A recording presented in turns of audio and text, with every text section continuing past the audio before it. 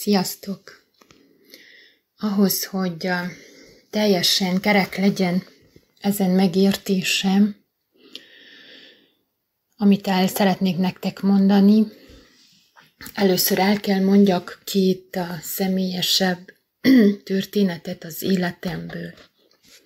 Az egyik a verebekkel kapcsolatos, és az a lényeg, hogy amíg folyamatban volt a házunk építése, felújítása, nagyon sok veréb beköltözött a tető alá, pontosabban az eresz alatti részbe, ahonnan szó szerint kicsipegették a kőzetgyapot szigetelőt, és az oldalfalakon is a fészkeket vájtak a szigetelőbe amikor is aztán befejeződött a csatornázás is a házon, és az eresz alatti részt is fellambírjáztuk, azt gondoltuk, hogy na végre megszabadultunk a verebektől, nem tudnak többé visszaköltözni, mert azt persze elfelejtettem mondani, hogy a károk mellett, amit a szigetelésben okoztak,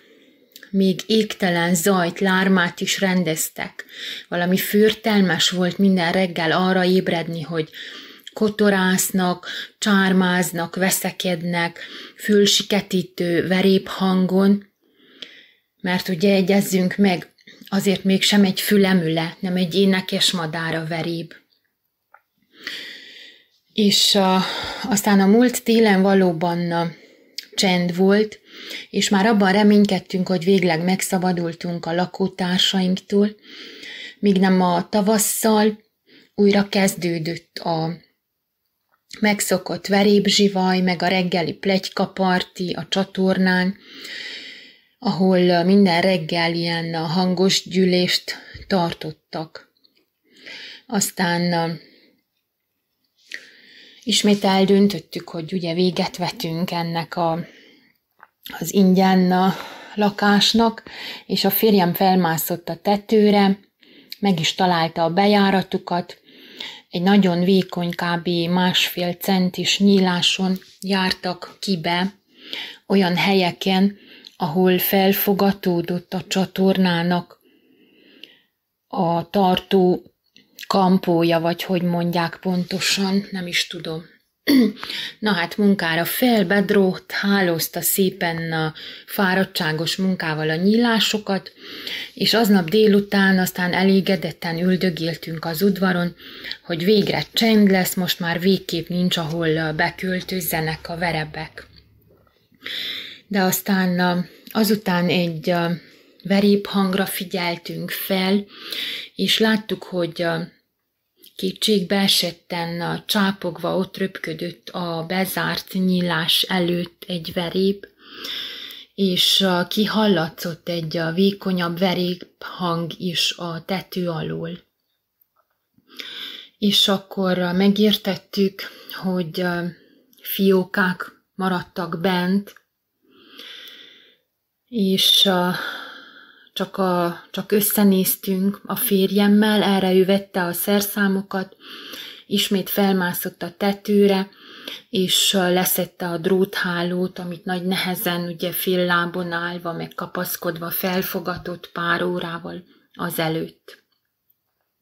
Na, hát azóta újra vannak verebeink, szépen szaporodnak, gyarapodik a család, csármáznak reggelente, de már valamiért nem zavar és azért sem aggódok, hogy kitépik a szigetelő anyagot a tető alól.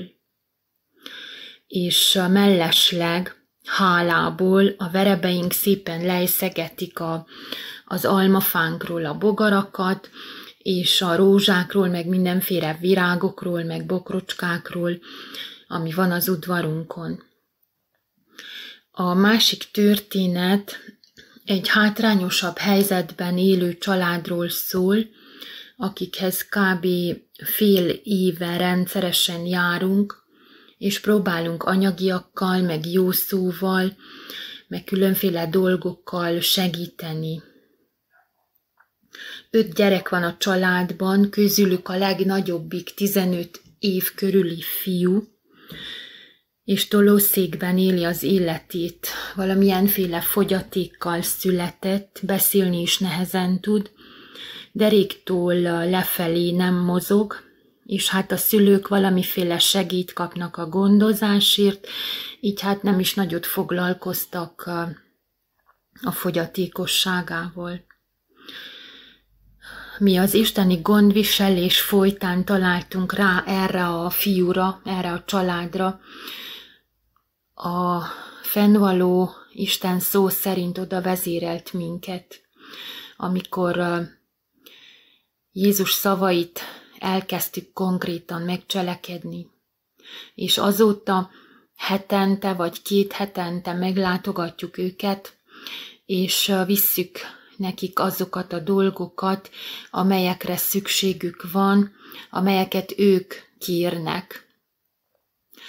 És ezt most nem azért mondtam el, hogy megkapjam a dicséretet, azaz az, az a földi jutalmat, hanem azért, mert összekapcsolódik ez a két történet a megértésemmel, amire is mindjárt sor kerül, hogy elmondjam nektek. Tehát ezzel a családdal úgy alakult a dolog, hogy öröm volt számukra is, és számunkra is, hogy segíthetünk élelemmel, ruhával, tisztálkodási szerekkel, a gyerekeknek könyvek, füzetek, cipők, pelenka, stb. És hálásan öleltek át a gyerekek minden alkalommal, és áldottuk az Istent, mert ugye azt mondta Jézus, hogy ha egyel a legkisebbek közül is jót teszünk, azt vele tesszük. Vagy ha egynek a legkisebbek közül is adunk egy pohár vizet, azt neki adjuk. Azonban a legutolsó alkalommal a gyerekek közül kettő is ilyen hisztit vágott, hogy ők igazából nem is ilyen cipőt akartak, meg hogy ilyen meg amolyan ruha kellene, és a férfi is, ugye, aki mégiscsak dolgozhatna, így emberi meglátás szerint legalább ilyen alkalmi munkát nyár idején, több alkalommal is úgy fogadott, hogy a két literes sör a kezében, és követelőzött, hogy következőben majd vigyünk egy kájhát, vagy egy új ajtót, meg ilyenek.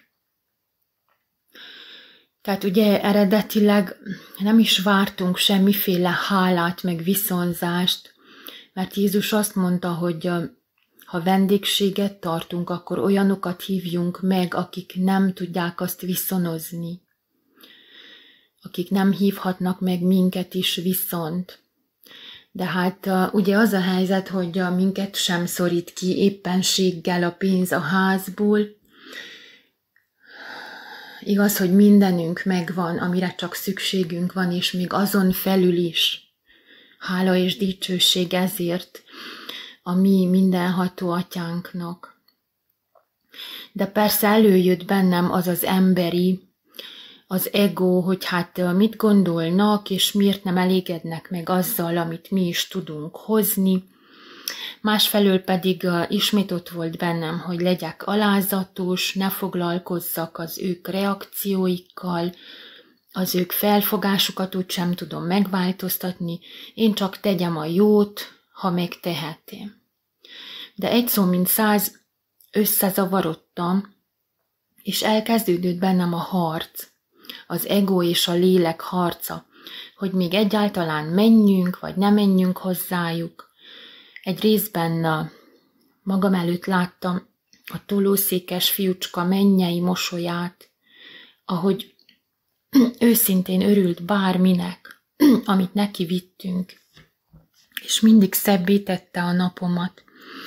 De aztán előjött a többi gyerek hisztie, és az apa követelőzése a sűrrel a kezében és napokig zaklatott voltam, mert nem kaptam egyértelmű választ semmilyen formában, semmilyen képpen, hiszen a, tulajdonképpen én akartam eldönteni, hogy, a, hogy én adjam meg a választ akkor, hogy még menjünk, vagy nem menjünk hozzájuk. És aztán jöttek más elfoglaltságok, és más problémák is, de függőben maradtak ezek a kérdéseim. És a minap a Bibliában Lukács evangéliumának 16. részéhez értünk, ahol a bevádolt sáfárról van szó. És elolvasnám nektek az egyes verstől a kilencedik vers végéig. Monda pedig az ő tanítványainak is, vala egy gazdag ember, akinek vala egy sáfára, és az bevádoltaték nála, hogy javait eltékozolja. Hívá azért azt, és mondanéki, mit hallok felőled, adj számot a te sáfárságodról, mert nem lehetsz tovább sáfár. Monda pedig magában a sáfár, mit míveljek, mivel hogy az én uram elveszi tőlem a sáfárságot. Kapálni nem tudok, koldulni szégyenlek. Tudom, mit tegyek, hogy mikor a sáfárságtól megfosztatom, befogadjanak engem házaikba. És magához hívatván az ő urának minden egyes adósát, mondta az elsőnek. Mennyivel tartozol az én uramnak? Az pedig monda, száz bátus olajjal, és mondanéki, vedd a te írásodat, és leülvén hamar írj ötvent. Azután monda másnak, te pedig mennyivel tartozol? Az pedig monda, száz kórus búzával, és monda annak, vedd a te írásodat, és ír nyolcvant. És dicséri az úr a hamis sáfárt, hogy eszesen cselekedett, mert e világnak fiai, eszesebbek a világosságnak fiainál, a maguk nemében. Én is mondom néktek, szerezzetek magatoknak barátokat a hamis mammonból, hogy mikor meghaltok, befogadjanak benneteket az örök hajlékokba. És uh, mivel testből, az egóból való megoldásokon gondolkoztam ezekben a napokban, nem is tárult fel az értelme ennek a résznek, pedig másnap is újra olvastam, és erőlködtem, és próbálkoztam, de valamiért nem jött megértés. Aztán odáig jutottam, hogy kész, leteszek mindent, nem is akarom megérteni. És ott hagytam mindent, kiültem a, az udvarra, a hintára, és elmerültem Isten ölelésében, élveztem a simogató napsütést, és átadtam magam egy olyan kiüresedett állapotnak, amikor csak úgy örültem az engem körülvevő Istennek, a csendnek, a békességnek. Azt hiszem, hogy a, a mostban tudtam létezni egy kevés ideig. Elengedtem mindent, ami a földhöz köt, az elmémhez köt, és nem akartam tudni semmit, és megérteni sem akartam semmit. És akkor abban az állapotban egyszer csak mint amikor felgördül a függöny a színpadon, és elénk tárul a megvilágított díszlet és a szereplők. Hirtelen bejött ennek a résznek a kulcsmondata, hogy szerezzetek magatoknak barátokat a hamis mammonból, hogy mikor meghaltok, befogadjanak titeket az örök hajlékokba. És jött melléje a megértés hogy mi itt a földi életünkben tulajdonképpen sáfárok vagyunk. Az Úr vagyonával sáfárkodunk, mert igazából semmi nem a miénk, amiről mi azt állítjuk, hogy a miénk. A házunk, az autónk, a pénzünk, a kincseink, mind-mind az Úré, az Isteni, mi pedig hamis sáfárok vagyunk, eltékozoljuk az Úr vagyonát, de eljön az idő, amikor számot kell adnunk a sáfárkodásunkról. És ha eszes sáfárok vagyunk, és belátjuk, hogy kapálni nem tudunk, avagy a munkát ellátni a szőlőben nem akarjuk, tehát megcselekedni Isten akaratát nem vállaljuk, mert hát könnyebb az úr vagyonával csak rendelkezni, azzal, ami nem a miénk, nem a mi vesztességünk, ha rosszul intézkedünk, ám de koldulni is szégyellünk, vagyis fohászkodni az Úrhoz, megalázni magunkat, belátni a tévedéseinket, a téveigéseinket, a tékozló sáfárkodásunkat, és bocsánatot kérni. Ugye azt is méltóságunkon alulinak találjuk. Akkor legalább legyünk eszesek a világ szerint, és a hamis mammont, a világi értékeket, a pénzt, a hatalmunkat, az úratta földi javakat fordítsuk olyan barátok szerzésére, akik által befogadtatunk az örök hajlékokba. Adjunk abból, ami látszólag a miénk. Osszuk meg mindenünket a rászorulóval. Ne azt nézzük, hogy megérdemli-e a másik, vagy nem mert hiszen mi sem érdemeljük meg az Úrtól az ő gondoskodását. Nem érdemeljük meg a napsütést, az esőt, a mindennapi kenyeret, a földi javainkat. És úgy is adja azt az Úr. Ne akarjam én kitoloncolni a verebeket a háztető alól, hiszen két verebet adnak egy fillérért, annyira jelentéktelen kis madár, de még sem esik egy sem a földre atyánk tudta nélkül. Így a verebek is lehetnek barátaink, akiket a hamis mammonból megszerzünk, ha jól sáfárkodunk. És amikor mindez így megvilágosodott előttem, a verebeink hirtelen valahonnan előkerültek, feltelepettek szép sorban a kerítés tetejére, és szó szerint felém fordulva hangos csiripelésbe kezdtek, mintha azt mondták volna, hogy na végre itt az ideje, hogy megértsed a lényegét. És azzal el is repültek. És jöttek tovább a megértések, hogy ne foglalkozzak én azzal, hogy az a család miként fogadja az anyagi segítséget, vagy hogy hálátlanok-e, vagy követelőznek-e, én csak szerezzem a barátokat a hamis mammonból, a pénzből, mert hát az Úr vagyona, nem az enyém, és ő holnapra is ad, megadja, amire szükségem van, hisz minden az övé, amim van.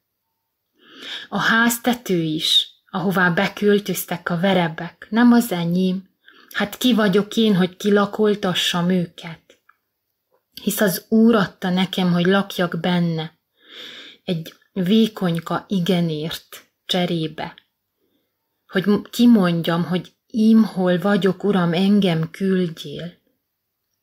Legyek hű a hamis mammonhoz, hogy rám bízattassék az igazi kincs. És nem az ők hálájuk lesz a jutalmam, az ők életfelfogásukat kell én ezáltal megváltoztassam, hanem az Úr fog nekem ezért örök hajlékot biztosítani, mert eszesen sáfárkodtam az Úr javaival. És ugyanez van a bizonyságaim, a megértéseim megosztásával is. Nem kell én görcsöljek, hogy vajon megértik-e az emberek, Vajon másképp kellene-e fogalmazzak? Hogy nehogy valakit megbántsak, hogy nyelvtanilag, vagy néprajzilag, vagy etnikailag, vagy mit tudom én, hogy. Nehogy valakit félretájékoztassak. Én csak tegyem, amivel az Úr megbízott. És így megértettem azt is, hogy a törvény és a proféták keresztelő Jánosig valának, az időtől fogva az Istennek országa hirdettetik, és mindenki erőszakkal tör abba. Elég nekünk annyit megértenünk, hogy itt a e földi életben semmilyen földi kincs nem a miénk. Mi csak sáfárok vagyunk, ügyintézők vagyunk ebben a tekintetben. Váltsuk tehát a, a földi kincseket mennyei kincsekre.